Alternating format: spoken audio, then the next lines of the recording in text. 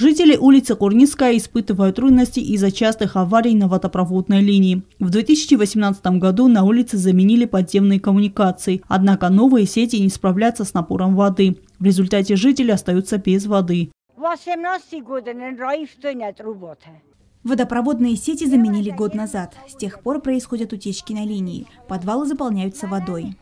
Аварии на водопроводной линии происходят регулярно. Каждый раз жители улицы обращаются в ГУП «Водоканал». Они устраняют проблемы, но ситуация повторяется. С тех пор, как возникла эта проблема, мы говорили о ней. Обратились в водоканал, чтобы поменяли коммуникации. Они приезжают, устраняют аварию на линии, но ситуация повторяется. Мы хотим, чтобы раз и навсегда нас избавили от этой проблемы.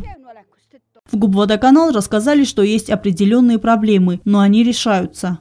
Мы приносим свои извинения перед жителями данной улицы и в свою очередь обещаем в кратчайшие сроки решить данную проблему. Эльвира Дебилова, Арнольд Харебов. Информационный выпуск сегодня.